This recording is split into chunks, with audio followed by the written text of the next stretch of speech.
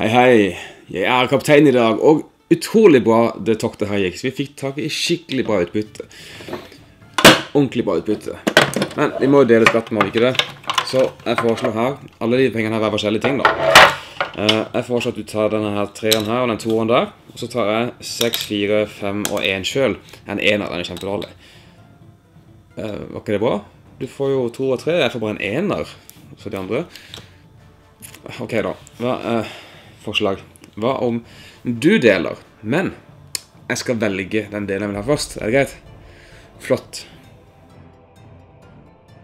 Hello. Jepp. Nok et sjørøverspill, eller piratspill, eller Vi skal i hvert fall ha bytte. Utbytte. Byttet Bytte skal fordeles blant spillere, og jeg som kaptein denne runden her skal da ta skatten vi har fått til nå, og så skal jeg fordele den blant dere.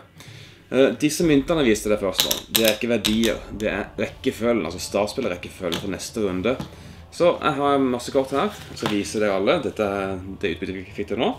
Det sier at ok, hvis du tar en sukker og to sverd, eh, og du blir femte femtemann neste runde, er det greit for deg? Så, så går vi gjennom en sånn liste da, hvem som er i turrekkefølgen. Og så er det greit for deg, er det greit for deg, er det greit for deg, og så videre.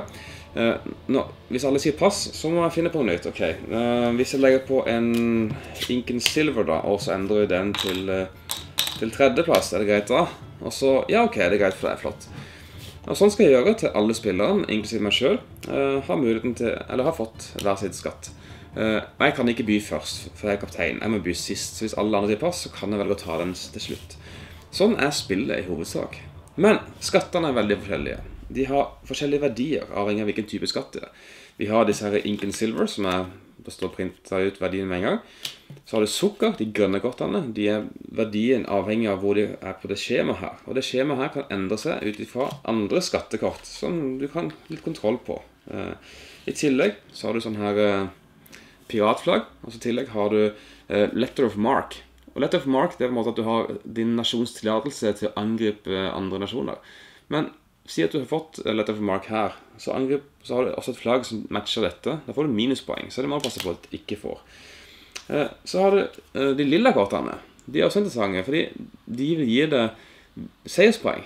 Men hvis du har Bibel og rom, så kan du ikke strå for begge to. Du må velge. Skal du gå en drikkeveien, eller skal du gå bibelveien? Så det er også et interessant valg. Så det er litt forskjellige ting her. I tillegg, det siste, det er de røde kortene. De lar deg sette ut eh, piratbrikker rundt på de forskjellige øyene. Og det gir et poeng, da. Dersom alle feltene på øya er er fylt opp. Så det er alltid ett sverd mindre enn det feltet på øya, så en av øyene vil ikke score hver eneste gang. I tillegg så har hver pirat en skjult oppdrag som kan gi deg ekstra seierspoeng hvis de klarer å fullføre oppdraget. Og det er ikke så lett, skal jeg si det. Men det har du spill, egentlig.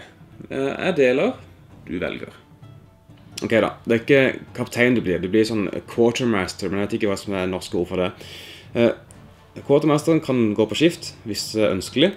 Eh, Og quartermasteren vet også noe som de andre ikke vet. For noen av skattekortene ligger nemlig med ansiktet ned. Så kun han som vet hva det er for noe. Så si jeg lager en sånn skatte som jeg synes er sånn, sånn, og så et kort som en face down, altså ansiktet ned. Du vet ikke hva dette er for noe. Er det et flagg du ikke trenger? Er det noe som kan påvirke markedet? Du har ikke peiling. Så det er en liten sånn spenningsmoment der. Men ellers så er det ingenting nytt med det spillet her. Det er et ganske enkelt jeg deler og du tar spill, som varer litt for lenge enn det burde gjøre. Spesielt hvis du har en quartermaster som bruker litt for lang tid til å velge et utbytte, og ikke klarer å gi et bytte som noen vil ha noen ganger. For da ingen vil ha det, ok, da lager vi nytt bytte. Ingen tar det, ingen, ok. Og så så holder du på sånn uendelig. Åh, kjedelig. Men spillet seg sjøl er helt greit. Det er Jeg kan ikke si noe mer om det. Det er morsomt øh, og underholdende, men øh, ikke noe sånn her løp og kjøp. Men helt greit. Men takk for at du så på denne episoden av Brettspillene Takas. Jeg håper å se den i neste episode. Eh, En liten ting til. Hvis du har lyst til å kommentere videoen min, hva jeg burde gjøre, hva jeg ikke burde gjøre, så gjerne gi beskjed om det. Eh, Så kan du også sjekke ut Patreon-kontoen min her. Se hvordan du kan bidra til å gjøre videoen bedre også der også. Ok, takk for nå.